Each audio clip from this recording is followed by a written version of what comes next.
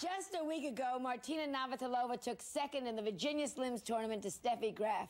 When we talked to her before the tournament, we talked about how she loves tennis, and also there's one thing she loves equally as much watch.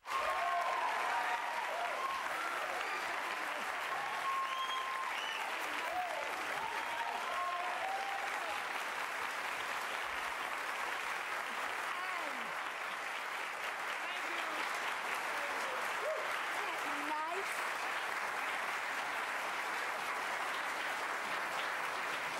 Does that make you feel wonderful? I get nervous. Do you really still? Not at the shows. I get nervous when people keep clapping. I don't know what to do. I feel Now- like hiding, you know. You're not used to being a star. It's how many years now you're in tennis? Uh, it's been a while. I've played here first in '73, so I've been uh, 16. This is my 17th year on the tour. 17th year. And Some you- girls aren't even 17 years old that I'm playing against. You know? I, does that make you feel funny? Do you think I was yeah. successful, bitch, before you even were on the tour? It's pretty funny. I mean, some of these girls were ball girls for me. Yeah. You know? And now that I'm playing against them, and someone beat me, so uh, it is kind of strange. Now you were 33. Happy birthday. Yesterday. Yesterday. Congratulations. Ah, Feeling good. and in great shape. I feel, really good right now. I had, I had some problems physically uh, but when I was 30, 31, but right now I feel great. I feel as if I was 23, not 33. So, So- and you're playing that way too. Playing better. Yeah, Yeah. I'm still improving, which But- just proves you can teach an old dog new tricks. Oh, I as you hope know. so. Look who you're talking to. No, I was talking about Spike. But uh, the questions are going to come up, obviously, because Chrissy Evert at 34 said that's it. So you know they're just waiting to ask you these things. well, they've been asking me for Yeah. a while, and I always said I would play till I'm 30, then I'll see, and I'm still seeing. And, you, and you're still doing so well. Well, I'm, I'm happy. I mean, I'm number two, but uh, you know, I've had, I've come real close to winning Wimbledon and the U.S. Open this year, and I didn't, and so I'll give it another try next year, and play as long as I as I enjoy it, and I enjoy it tremendously right now. what went through your mind when you went from number one to number two? No, that's not printable.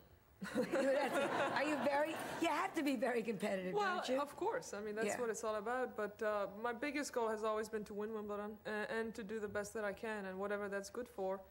You know, that, this year is the best that I gave it. I mean, I really gave it everything I had, and I'm still number two. But I'm happy with my effort. If I hadn't given it everything, and then I was still number two, then I could say, "Oh, I should have done this or that." But You I've know- done everything I could. I'm talking to you, and you speak.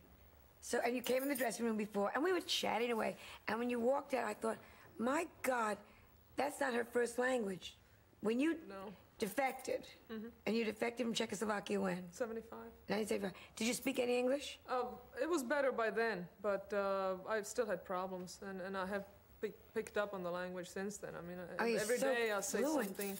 Uh, It's funny now; it still happens. I say a new word that I haven't used before, and I and I realize that's the first time I ever used that word. And, and if I don't know something, I look it up, and uh, I always know how to want to know how to spell it. And, you know, it's fun. I, I have a much easier time expressing myself in English now than in Czech. Now, when I talk to my parents in Czech, I really have to think. I was just going to ask you, what are you dreaming? I, I'm mostly English. It's a, Mostly English, and I have to translate from English to Czech now when I talk to my parents. It's funny.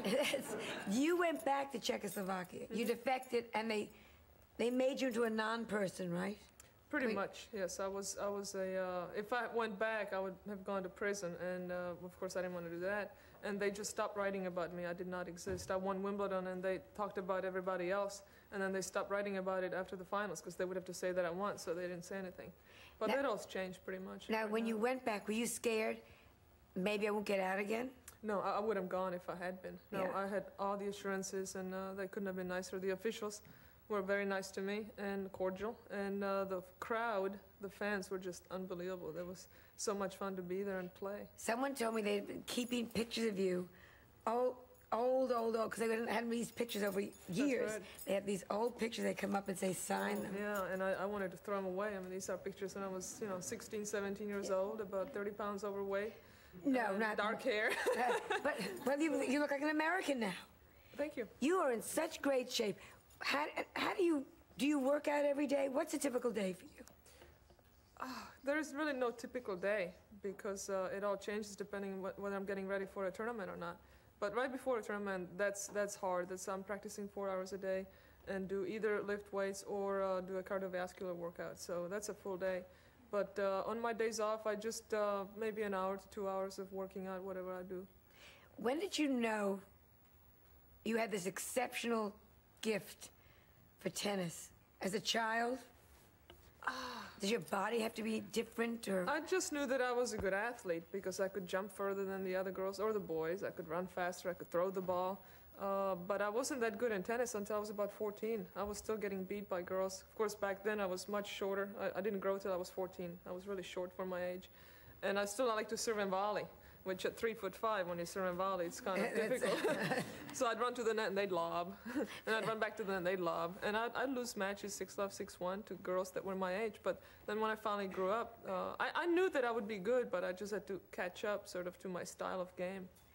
What's your private life like? You said something to me so sweet in the dressing room. We were talking, you came in to meet Spike, and we talked about that I travel with Spike all over, and you said you take your dog and your cat in one little In one container. container and you travel with your animals.